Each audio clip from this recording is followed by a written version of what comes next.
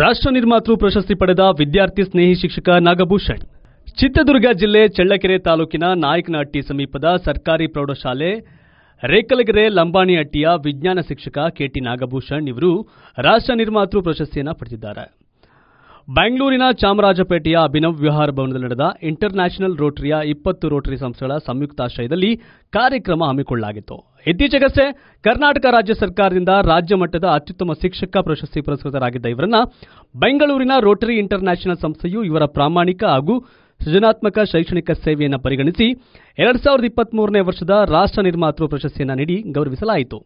ಈ ಸಂದರ್ಭದಲ್ಲಿ ಮಾಜಿ ಎಂಎಲ್ಸಿ ಪುಟ್ಟಣ್ಣ ಹಾಗೂ ನಿವೃತ್ತ ಗವರ್ನರ್ ಆದ ಉದಯ್ ಕುಮಾರ್ ಭಾಸ್ಕರ್, ಶಿಕ್ಷಣ ಇಲಾಖೆಯ ಹಿರಿಯ ಕಾರ್ಯಕ್ರಮ ಅಧಿಕಾರಿ ಶ್ರೀ ರಮೇಶ್ ಸರ್ ಹಾಗೂ ಚಲನಚಿತ್ರ ನಟ ಜೆಬಿ ರೆಡ್ಡಿ ರೋಟರಿ ಸಂಸ್ಥೆಯ ಅಧ್ಯಕ್ಷರು ಹಾಗೂ ಮುಂತಾದ ಗಣ್ಯರಿಂದ ಪ್ರಶಸ್ತಿಯನ್ನು ಸ್ವೀಕರಿಸಲಾಯಿತು. ಪ್ರಶಸ್ತಿ ಪಡೆದು ಜಿಲ್ಲೆಗೆ ಕೀರ್ತಿ ತಂದ ನಾಗಭೂಷಣ ಅವರನ್ನ ಜಿಲ್ಲೆಯ ಉಪನಿರ್ದೇಶಕ ಶ್ರೀ ರವಿಶಂಕರ್ ರೆಡ್ಡಿ, ಕ್ಷೇತ್ರ ಶಿಕ್ಷಣಾಧಿಕಾರಿಗಳಾದ ಶ್ರೀ ಸುರೇಶ್, ಕೆಎಸ್ ಶಾಲೆಯ ಮುಖ್ಯ ಶಿಕ್ಷಕ ವೆಂಕಟೇಶ್ ಎಸ್ಟಿಎಂಸಿ ಅಧ್ಯಕ್ಷ ಜಯಣ್ಣ, ಉಪಾಧ್ಯಕ್ಷ ಯಾದು ನಾಯಕ, ಶಾಲಾ ಸಿಬ್ಬಂದಿ, ಊರಿನ ಗ್ರಾಮಸ್ಥರು, ಯುವಕರು, ವಿದ್ಯಾರ್ಥಿಗಳು ಅಭಿನಂದಿಸಿದ್ದಾರೆ. ಆಂಜನೇಯ ಕರ್ನಾಟಕ ಟಿವಿ, ಚಿತ್ರದುರ್ಗ.